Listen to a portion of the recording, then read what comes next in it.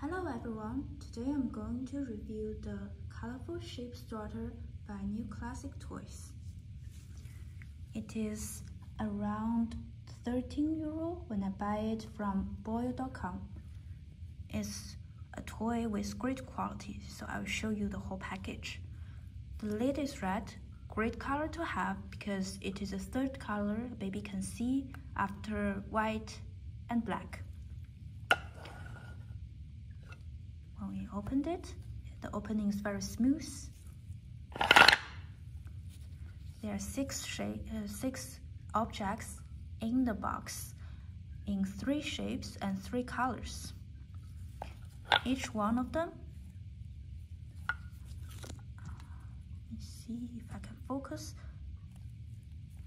The paint quality is really good because my baby puts this in his mouth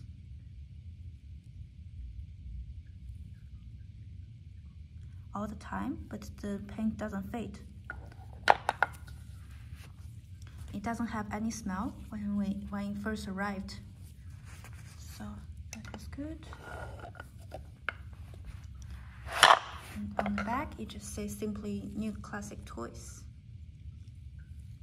Here. It's made in the Netherlands. I'll show you over here when the baby is older, they can just uh, put all the shapes through the sorter to the box. Right now, I just opened it, open the lid, and let my baby put everything in and take everything out. He really likes it.